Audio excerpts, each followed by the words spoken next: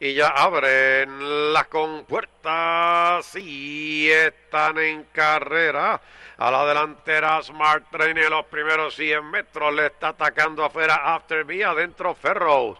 En los primeros 200 metros de carrera la lucha es fuerte. Ferro, Smart Training afuera. After Me que domina por cabeza. Cuando llegan al poste de los mil metros, After Me, medio cuerpo, tres cuartos de cuerpo al frente. Ferros y Smart Training luchan. El segundo lugar a.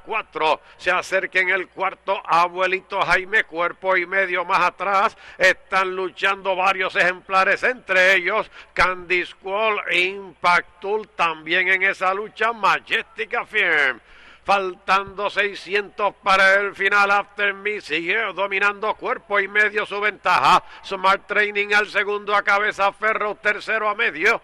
Avanza en el cuarto lugar.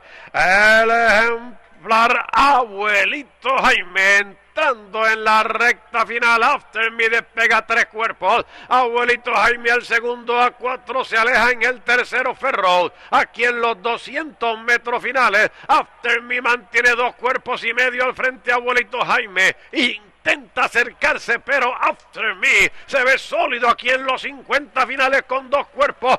Ganó por cuerpo y cuarto segundo Abuelito Jaime.